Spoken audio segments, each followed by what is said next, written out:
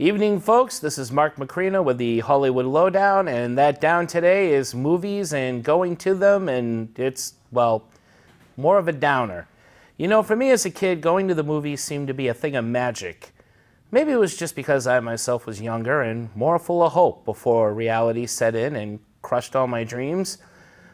But I seem to remember a time when going to the movies was, well, a lot more rewarding than watching a movie at home. You'd sit in a seat and wait with incredible anticipation, popcorn in one hand, a slushy in the other. You'd sit through a few coming attractions, then the lights would go down, the crowds would quiet, and before you knew it, showtime. To many, going to the movies was almost magic. These days, though, not as much. And why?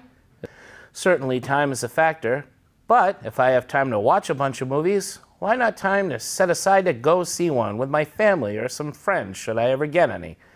Where's the appeal in paying the price equivalent of my electric bill for a couple of bags of popcorn, candy, and or soda?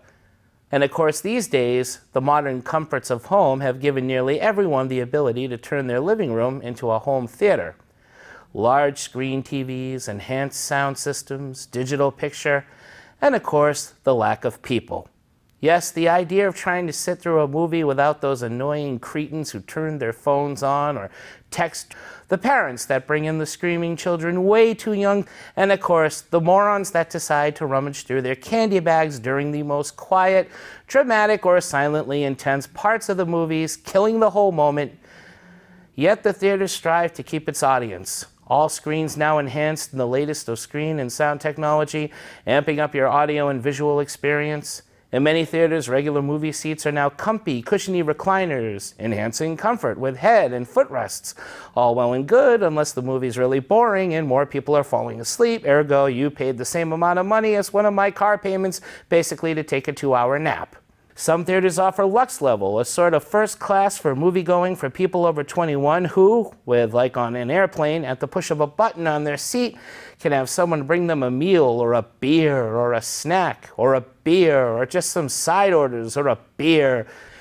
And now the latest in movie theaters' middle finger to streaming sites, monthly movie passes, which present a new idea which will allow people to see any and all movies for $10 a month. As for me personally, you will never truly be able to replace a good movie experience like the one you get at a theater.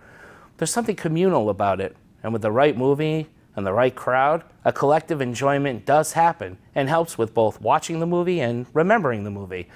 Like the first time we all marveled at Jurassic Park, gasped at Darth Vader, screamed during Psycho, and laughed ourselves silly during Ghostbusters, and hung our heads in shame after paying for Batman and Robin. Perhaps the reason the theaters aren't what they once were is because audiences aren't what they once were. So maybe it's not all the cost of a ticket or soda, or the rise in stream sites and on demand, or our lack of time, or lack of truly innovative movies being shown on screen. Maybe we've just become spoiled. Until next time, this is Marc Macrina saying, see you at the movies. Well, some of you, anyway.